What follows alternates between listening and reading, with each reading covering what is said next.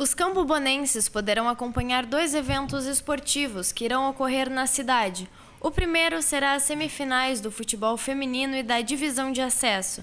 Já o segundo marca a etapa regional dos Jogos Intermunicipais. No futsal feminino, as equipes Bilas, Vila Real, Dínamo e Esporte estão classificadas após mais de um mês de competição que envolveu cerca de 100 atletas nesta, que é a terceira edição do campeonato. A divisão de acesso tem sua semifinal formada pelas equipes Autocar, River, Ajar e Fênix B, que chegaram à classificação após cinco fases de disputa que contou com 58 equipes participantes e envolveu mais de 800 atletas.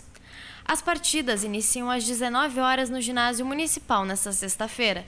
Já no domingo, o Girgues terá a modalidade handebol. Campo Bom também será representada no ginásio do Centro de Educação Integrada, que ainda terá equipes de Porto Alegre, Sapucaia do Sul e Canoas. A cidade que somar mais pontos estará classificada para as semifinais do torneio. Os jogos iniciam às 10 horas da manhã.